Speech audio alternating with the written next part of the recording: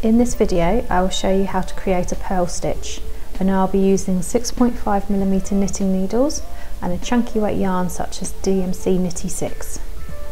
Most knitting designs are made up of a mixture of knit and purl stitches. When working a purl stitch, the yarn is held facing you at the front of the work. Hold the needle with the stitches in your left hand and the empty needle in your right hand. Insert the tip of the right hand needle into the first stitch, back to front. Wrap your yarn around your right hand needle and bring the tip of the right hand needle under the left hand needle and catch the loop on the way through.